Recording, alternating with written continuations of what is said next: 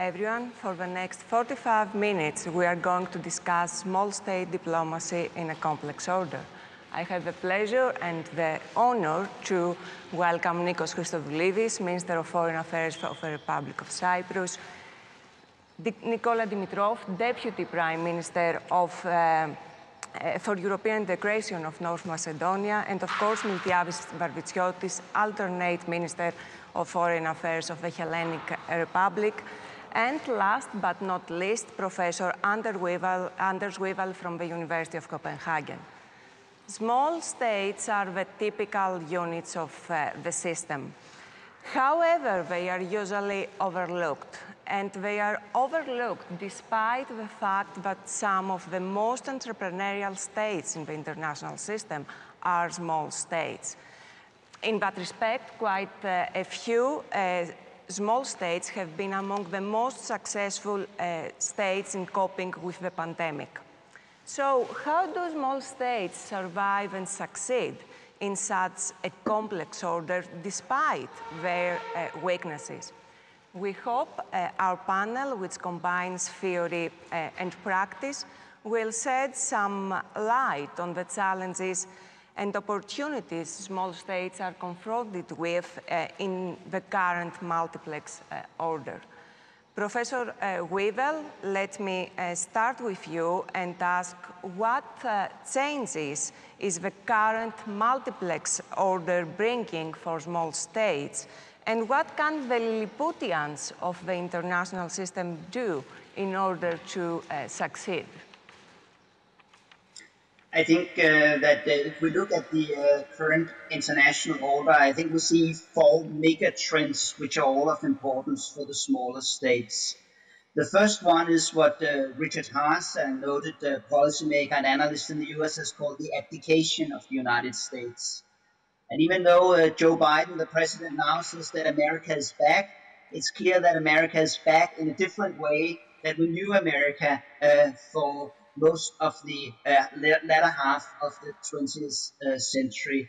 The US is no longer taking the same kind of responsibility as previously for the development and uh, maintenance of uh, global international institutions. The second trend that we see is the rise of China. And uh, we see a rise of China also in the uh, context of the decline of the US. And if the decline of the US and the retrenchment of the US creates a risk of no hegemony taking global responsibility. The rise of China adds to this the risk of great power conflict, even war, but at least competition, increased competition between the superpowers or great powers. Fourth, we see the decline of old institutions. We see that the institutions that we developed uh, during the latter half of the 20th century and the first part of the 21st century are not as strong as they used to be and seem to be slow and have problems in solving uh, the challenges that we face. And all of this together, and also enhanced, I think, by the Trump presidency, but also the increased intergovernmentalism in Europe, we've seen that uh, there's an increased nationalism, or not just America first, but any country uh, first, each uh, for uh, his or her uh, own country. And I think for small states, this creates uh, three risks. There's the risk of marginalization. If you're not the Arctic, if you're not East Asia, if you're not one of the uh, burning uh, spots in the world uh, that the great powers zoom in on, there's the risk that you're, you're forgotten as a small state, that nobody really cares uh, what you think. The second uh, my, the second consequence that we see for small states is uh, what we call the risk of parallel action uh, that we agree on goals, but we compete uh, to uh, achieve these goals rather than to cooperate. So we have incentives to go it alone rather than cooperating.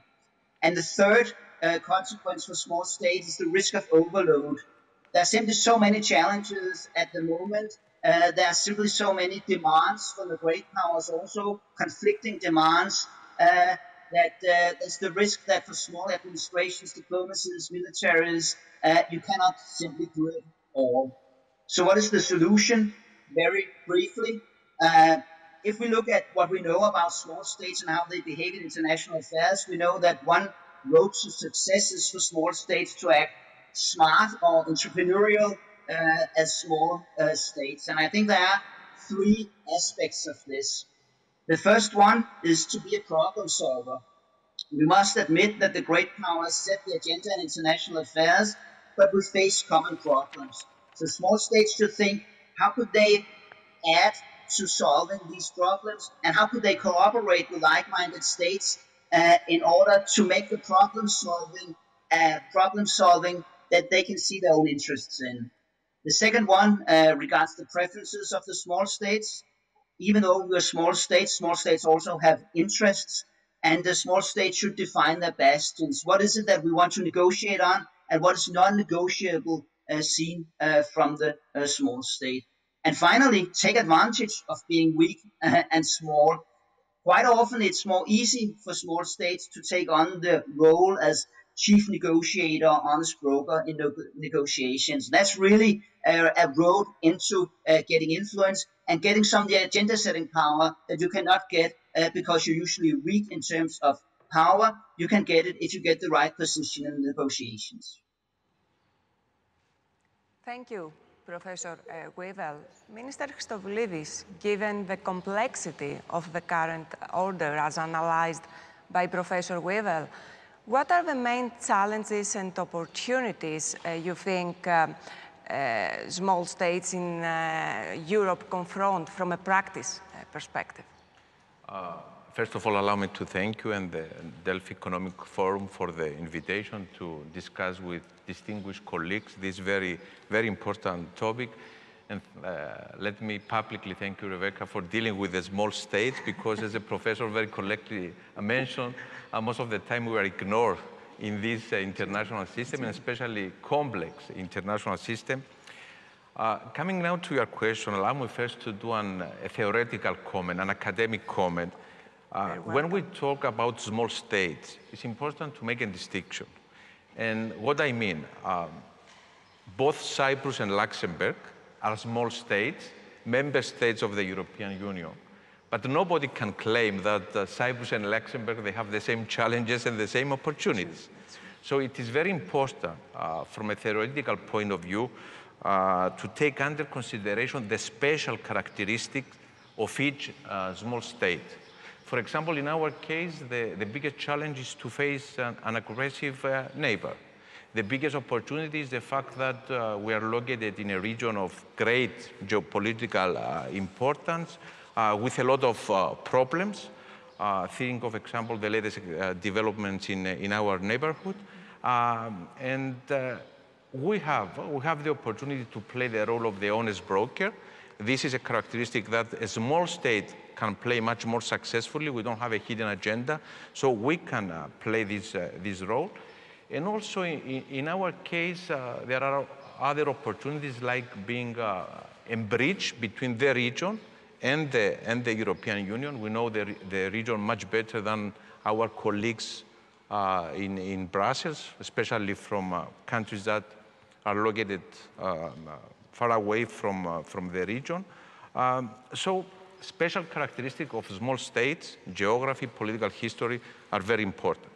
So now, as a general comment uh, about, your, about your question, and given the, the complexity of the current international uh, world, the international system, the threat and the questioning of multilateralism, which is, is clear, nobody can challenge this, the questioning of the global governance, the fact that states opting instead for insularism, the erosion of rules-based international system, the violation of basic human, uh, human rights and civil liberties, all those are crises and challenges that I believe they offer some opportunities to small states.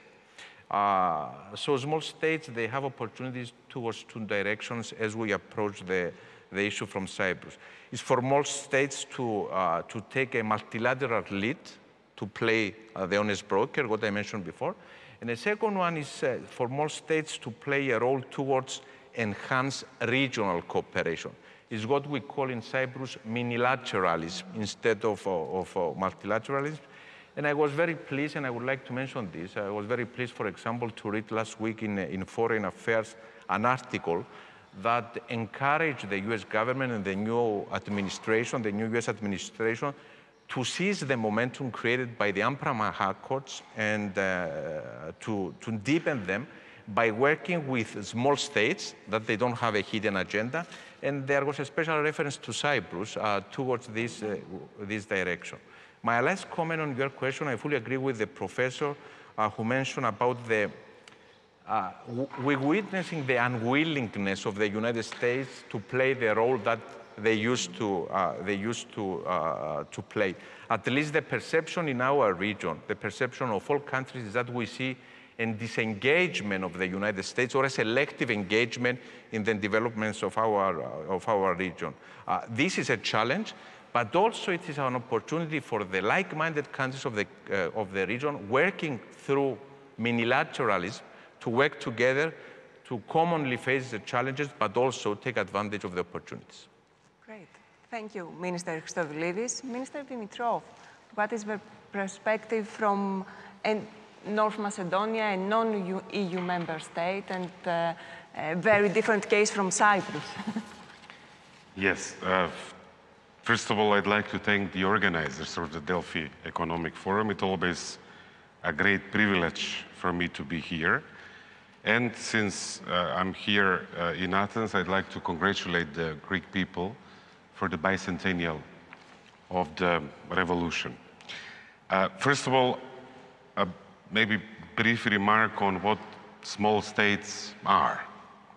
To us, Greece is far from a, a small state. It's a, it's a big state, so it's very relative. Uh, and it's not only size, it's also the economic potential, so the GDP. I think uh, military resources also uh, mean something. The network of friendships a country has also makes a big difference. The more friends you have, the more powerful and influential uh, you become. Uh, so um, I think we have to take that into account. I think our friend Jean Asselborn, the foreign minister of Luxembourg, that Nikos also mentioned, will not be upset with us if we use Luxembourg as, a, as an example. Uh, per capita, it's probably the richest country, member state of the European Union. Luxembourg on its own is different than Luxembourg within the Benelux uh, cooperation. So regional groupings, regional cooperation clusters matter. Then Luxembourg is a member of NATO, which has another layer of, of importance, and then, of course, the uh, European uh, Union. Uh, so you also inspired me, you mentioned the Lilliputians of, of, our global, of our global system, the Jonathan Swift's Gulliver Travel. Um, they managed to tie him up and even made him fight on their behalf, to do their fighting. So I think it will be a mistake to completely underestimate uh, small states in international relations. Um, we've learned many lessons in our uh, 30 years since independence. Uh, we managed to join NATO with the support of our neighbors in, in Athens. Uh, so I think small states like predictability um, and integration. Uh, it's in some way the instinct to seek shelter. You're covered when you have bigger friends around you. Geography also, as, as uh, uh, Minister uh, mentioned also makes uh, a big difference. It's one thing to have to have another small states a group as neighbors, or you have bigger neighbors, and it's it's uh, quite a different story if they're friendly, or if they're not so friendly. So I think we have a keen interest to uh, endorse a rules-based international system where multilateralism matters. Uh, the honest brokers is, a, I think, a very interesting point because we don't really have vested interest. We are usually, especially on issues and countries beyond our region, we can definitely play that role of an, of an honest broker. So um, in our uh, diplomacy and, and foreign policy, in these last years, the approach has been to focus on the future, to focus on common interest, to make it difficult for others to raise an issue with you. So to be friendly, to be open, um, and to uh, work together. And I think this, I know that we will also discuss that in more details. This became even more important in this pandemic. Times, this challenge. And I can tell you many details about cooperation with Greece, with other countries in the region that really made a difference in how we faced the challenges of the pandemic. We are going to discuss the pandemic yes. later. So, Minister Varvitsiotis, what, uh, how does Greece look at this matter of challenges and opportunities, especially after three consecutive uh, crises? Uh, let me first uh, thank uh, the guests who are here in Athens today. Uh, actually, the international participation in this uh, Delphi Economic Forum uh, makes us uh, very proud of hosting an event of uh, exchange of ideas at the global level and definitely at a, regional level. Well, as my friend Nikolai said, it's a kind of relativity. It's, it compares to, well, it matters to whom you are compared with. If we are compared with China, definitely we are a small state. If we are compared to uh, Cyprus, uh, definitely we are a bigger state. and until uh, 2004, we were one of the smallest states in the European Union. And after the enlargement of 2004, uh, we became an average size member state. I would like to, to say a few things that have to do with the European perspective of, of this issue, because we are living in Europe. Definitely the global challenges are there, but we want to, to work and cooperate in a, a framework that everybody should abide by the same rules, no matter how big or small you are. You should follow the same uh, kind of procedures. Uh, definitely you should express your solidarity at the level you can uh, contribute to that solidarity and you have certain obligations in terms of uh, defending the common goal. The, the pandemic uh, actually highlighted the importance of this extended cooperation. And we realized that uh, nobody could uh, serve in these turbulent waves, waves alone that we needed this extended cooperation, that we needed to, to put together uh, joint uh, uh, medical plans or vaccination plans in order to, to combat uh, the challenge. And we should also apply the same rules for traveling, for, uh, uh, for Medicare, or for the protection of our citizens. So coordination, solidarity, and actually joining a bigger group for a small state is uh, a refugee. It's a, it's a refuge. It's the, the point where you can actually feel that you have uh, others with which you fight the same and common challenges. Uh, let me say two things uh, commenting of what has been said already. Definitely geography matters. It's different to have a difficult neighbor that challenge your sovereignty. And another thing, to have uh, your cousins surrounding you with whom you speak the same language, you, you, you share the same values, and you have extended uh, economic cooperation. The other thing is how much you can participate in any global scheme. We took the example of Luxembourg. Luxembourg, no matter how much they raise their military expenditure, they wouldn't be able to find enough Luxembourg soldiers to form a big army to participate in their NATO obligations. So small states have also and should have also the ability to participate at a more voluntary uh, basis or more preferred upon to what their um, most uh, capabilities are uh, invested in uh, to more global uh, schemes. So actually, we can do a cherry picking from the abilities of the small states in order to form and uh, form a common approach in difficult situations. Thank you. Minister Dimitrov, given this background, what are the main goals of North Macedonia? How do you think uh, a small state and uh, North Macedonia in particular can navigate uh, complexity effectively? Yes. Um,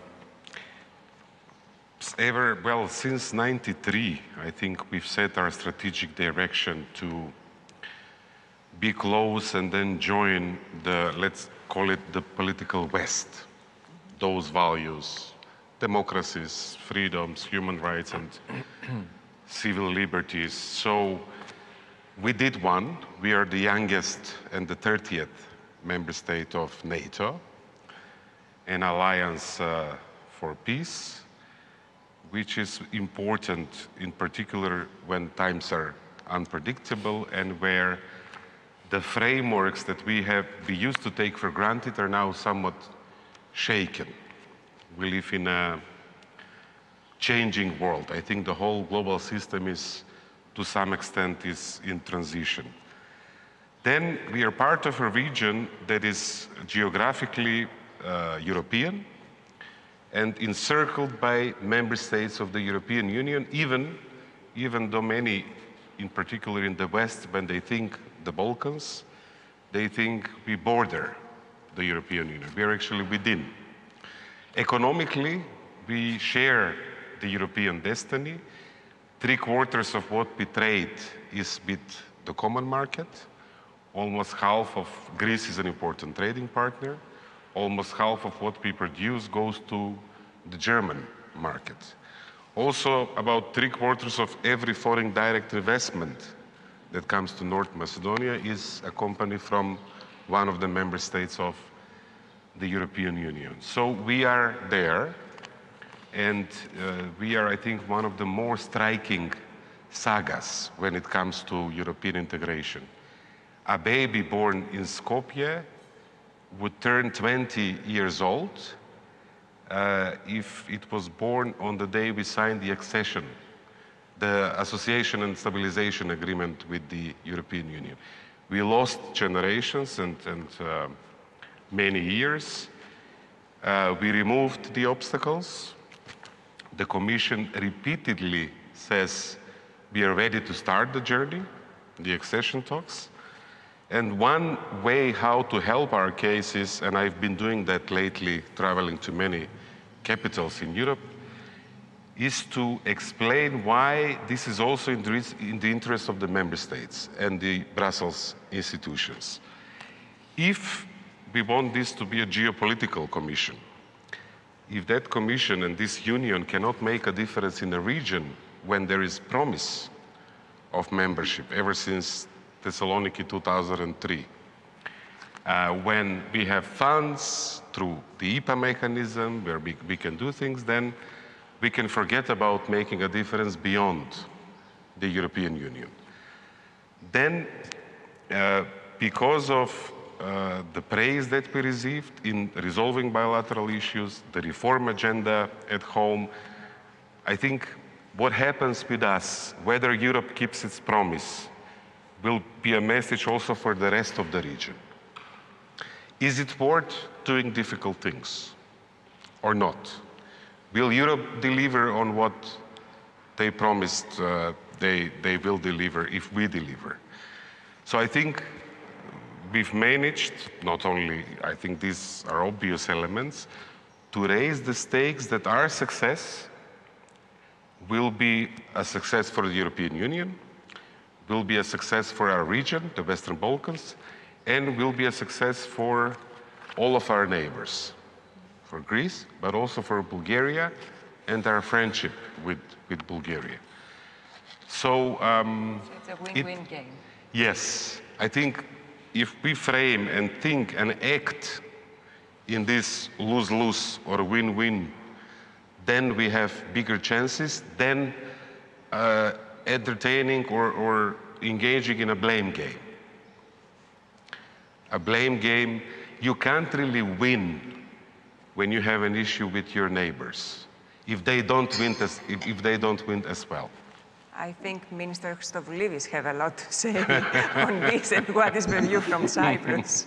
Um, first of all, let me uh, briefly to comment what Nikolai say and, uh, and uh, publicly express our support for the European bid of North Macedonia. We may be a small member state, but at the end of the day, we have one vote like uh, Germany, France, and the bigger member state in the European Union, and, uh, and uh, Cyprus vote counts. And I'm very concerned that as a European Union, we are losing credibility in the Balkans. Uh, we are talking about the geopolitical European Union, but we see compared to other geopolitical actors that uh, we are losing the game. So I hope that in the next uh, few weeks it will be possible to have positive news uh, regarding North Macedonia, but in general, the, the region. I recently visited the region with Mr. Dendias, and we expressed, both Cyprus and Greece, our support for the European perspective of the Western Balkans. Now, coming to, to Cyprus, um, uh, in the last few years, we are trying to be uh, navigating in this uh, complex international order uh, by implementing what I say an extrovert foreign, uh, foreign policy with uh, clear focus and a clear vision regarding our, our region. As a country at the heart of the Mediterranean, of the Eastern Mediterranean, with historically excellent relations with all of, of our neighbors, um, a core pillar of our foreign policy is to how to work together with the neighboring countries from uh, Eastern Mediterranean, Middle East, and, and the Gulf countries. And it was, it was, and as a small state, it's very important to work with uh, uh, your neighbors in order to face the challenges, but also take advantage of the opportunities. Uh, and so that is why uh, Cyprus, Greece, Israel, Jordan, Palestine, Egypt, UAE, um, uh, we are implementing uh, a very uh, effective cooperation. We're working together in order to turn our region to a region of stability and prosperity. It is a region with a lot of problems, a lot of difficulties, a lot of challenges, but at the same time, a region with a lot of opportunities. And the only way to take advantage of the possible opportunities is by, uh, is by working to, together. And this is, I'm coming again to the term that I used before, this is uh, what we call minilateralism. It is not possible to have the leading role in a, in a multilateral organization, but in the region, uh, we can, uh, we can uh, work together. And it is important to, to mention that energy was the main reason that the countries of the region, they start uh, the discussion of the regional cooperation. But uh, very soon, we, all of us witness the added value of this cooperation, and now we're discussing security, defense, health, trade, research and innovation. Exactly. And this is a clear indication of, of, the, of, the, of the importance. We also, uh, uh, we see that uh, our cooperation is recognized um, uh, by the European Union, by the United States, uh, certain EU member states participating in ad hoc basis in this, in this cooperation. And uh, we are working on positive agenda. We don't exclude any country of the region as long as they abide with international law and they respect the sovereign and territorial integrity of all countries. Uh, we have results, uh, and it is, it is very important, for example, that recently we had the establishment of the EMGF, the East Mediterranean Gas Forum, with the participation of Egypt, uh, Greece, Cyprus, Israel, and Palestine together in the same, in the same organization, Jordan and, and, and Italy. And uh, let me conclude by saying that we have a long-term vision. When the political conditions are there, uh, our vision is to establish a regional organization, a regional forum for security and cooperation. Um, uh, the region probably is the only region in the world that uh, no regional organization uh, uh, uh, is established. And we believe by establishing such, a, such an organization, we will institutionalize our cooperation for the benefit of all countries of the region. Thank you. What about the Hellenic Republic, Mr. Uh, Varvitsiotis? What are the main goal, goals in order to navigate effectively the current complex order? Well, I think the, the, the, main challenge for, for Greece is how to make the, uh, the EU enlarged in our immediate region. Uh, I'll tell you the example of Bulgaria. With Bulgaria, we had a long uh, history of fights among us. And from the moment they joined the EU, we have an extended cooperation, the most uh, peaceful and cooperative uh, uh, times that we have ever lived in, an extended economic cooperation as well, apart from the political and people-to-people -people cooperation. So uh, by actually getting Albania and North Macedonia joining EU, finally we will get land borders with other member states. That's something that we have been deprived because from the beginning we were in an isolated part of the European Union without physical borders with the rest of the European Union. I would like to, to say that uh, the new process of enlargement that we have agreed last year should be a credible process and should be a process that actually is more speedy than the old process of enlargement through chapters and through uh, uh, negotiations that never ended. And it's important for this uh, process to start immediately for all the candidate members. We are not willing to accept any decoupling uh, between North Macedonia and Albania. we uh, we find this to be a disastrous uh, approach to, to the regional security.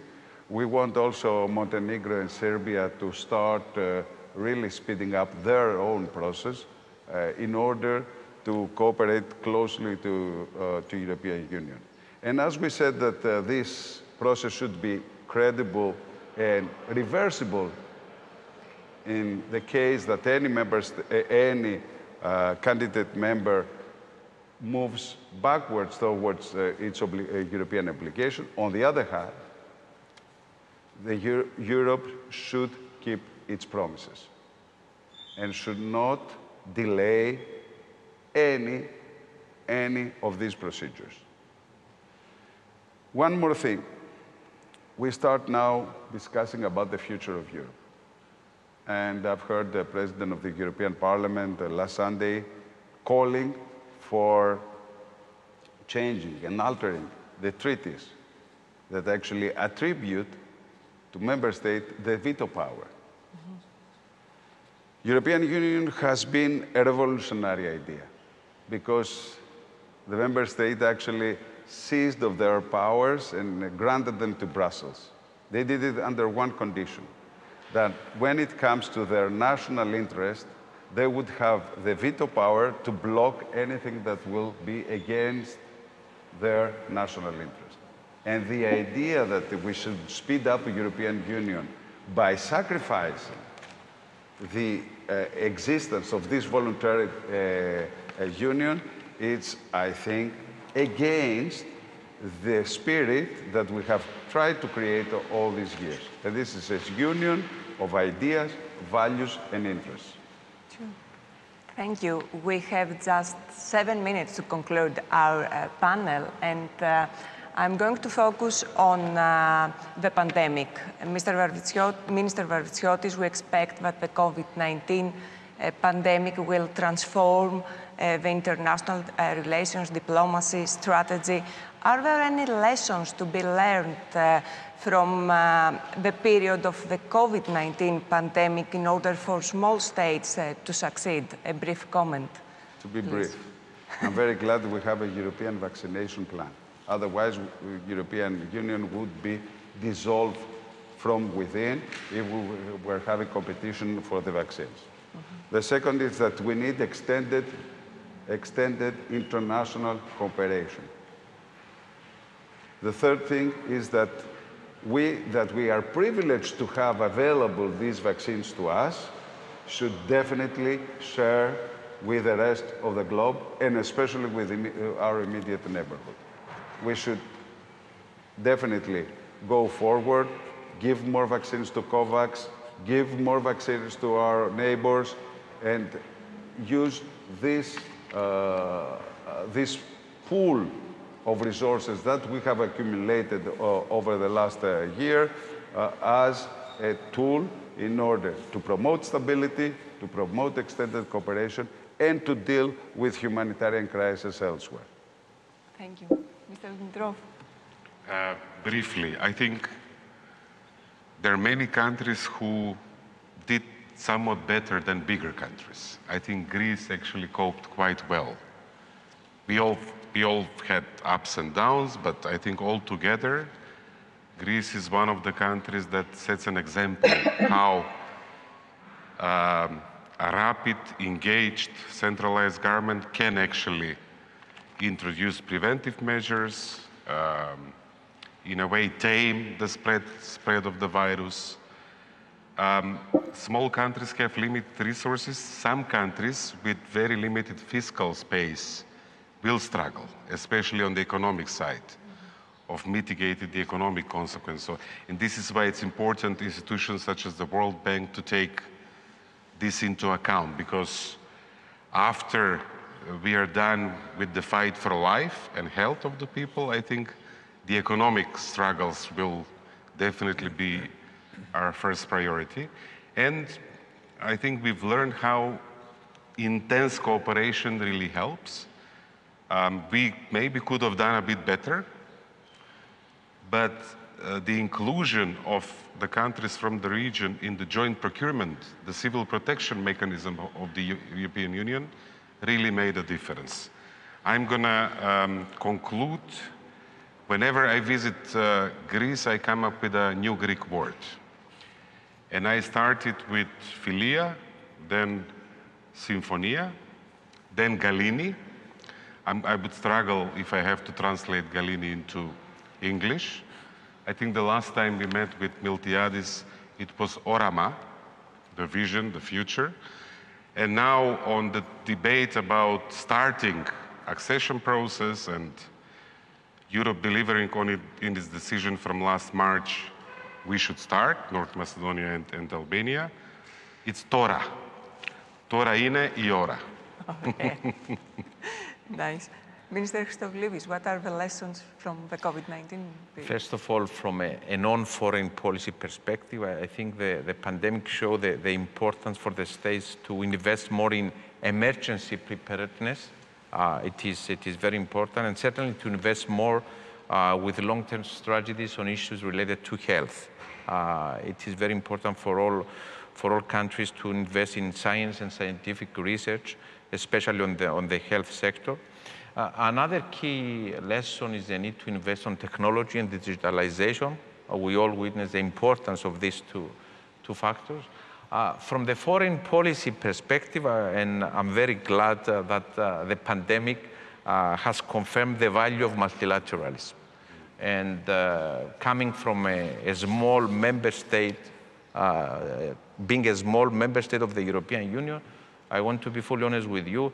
If Cyprus wasn't part of the big European family, it wasn't possible to face the pandemic, and especially in the area of the access of, uh, of vaccines. So it is something that, uh, that we need to recognize.